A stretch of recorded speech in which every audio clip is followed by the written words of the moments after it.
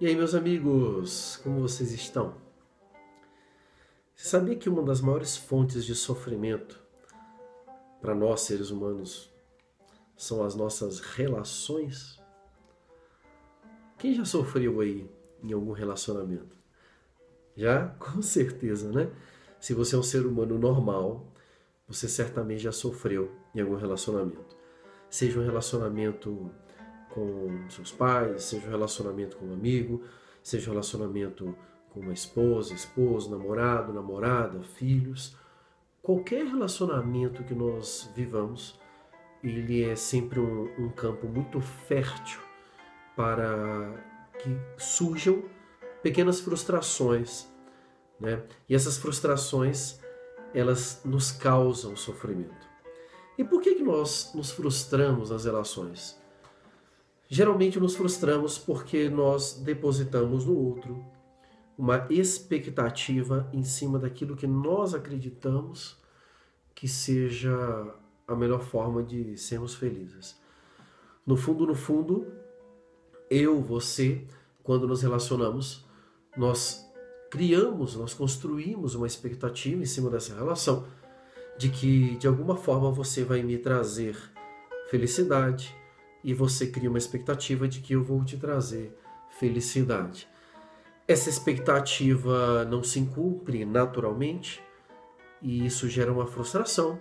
A frustração gera sofrimento e é assim que a gente se abate e nos encontramos em momento de tristeza profunda, não é verdade?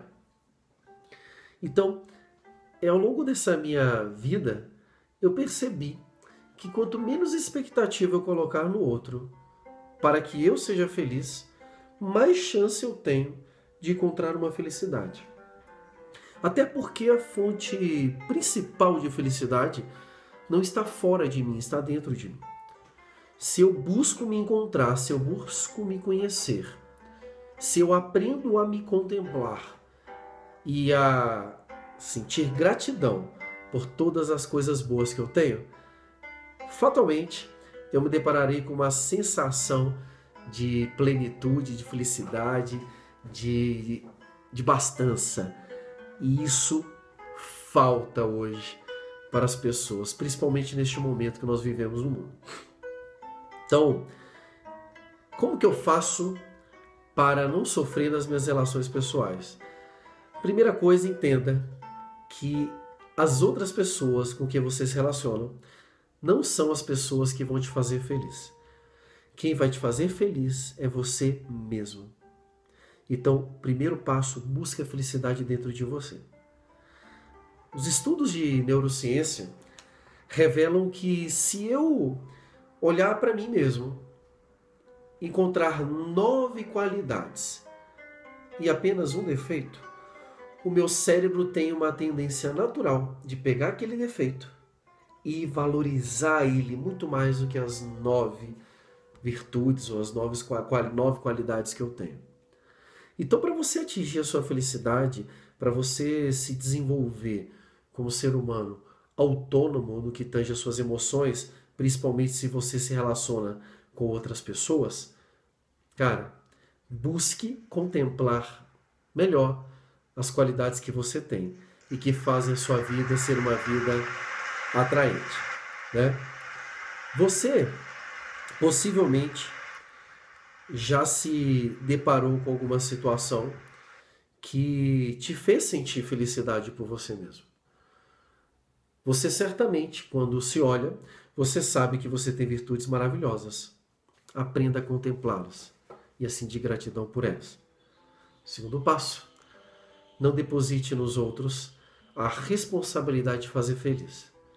Até porque aquilo que para você é bom nem sempre o é para as outras pessoas.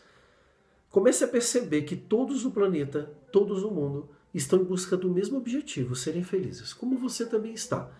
E eles estão fazendo isso da melhor forma possível. E às vezes a busca da felicidade do outro não é a sua. Por isso que nos frustramos. Se você se sentir feliz com você mesmo, se você aprender a contemplar as maravilhas que existem na sua própria vida, eu tenho certeza absoluta que a responsabilidade dos outros de te fazer feliz vai diminuir. E por consequência, também irá diminuir a sua frustração.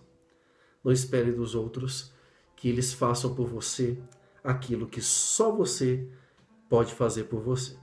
Beleza? Deixo essa mensagem para vocês nesse domingo, uma mensagem um pouco mais profunda para a sua alma. E se você achou bacana, se acha que essa mensagem tem algo de valor, dá um curtidinho aqui embaixo. E se você acha que essa mensagem pode atingir o coração de outra pessoa, e se você acha que ela possa contaminar e contagiar outra pessoa e fazer essa pessoa se sentir melhor, compartilhe com as pessoas que você ama. E assim a gente vai fazer cada dia um canal com mais pessoas aqui sendo influenciadas com mensagem positiva e principalmente em busca da nossa felicidade. Beijo no coração e até quarta-feira com mais Van com Daniel Sena. Valeu, Brasil. Fui!